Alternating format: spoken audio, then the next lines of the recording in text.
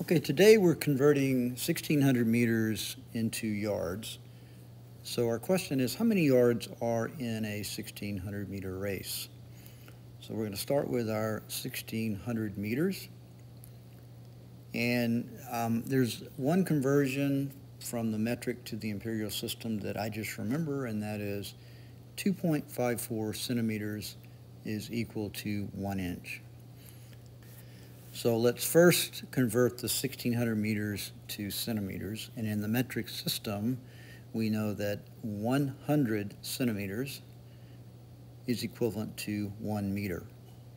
And again, this is just multiplying by one, multiplying 1600 meters by one to change our units from meters to centimeters.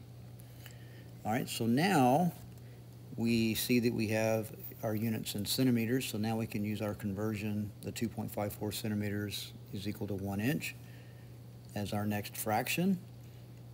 So 2.54 centimeters is equivalent to one inch. All right, so now we've converted our 1600 meters into inches. So next we want to convert the inches into feet.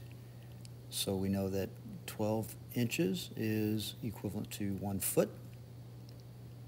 And then our last fraction is to convert our feet into yards. So we know that one yard is equivalent to three feet. So we can now cancel our units.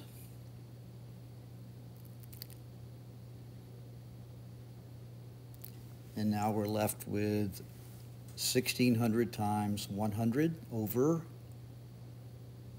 2.54 times 12 times 3. And our units will be in yards. And by doing the multiplication and division, and this gives us the answer, which is 1,749.78 yards.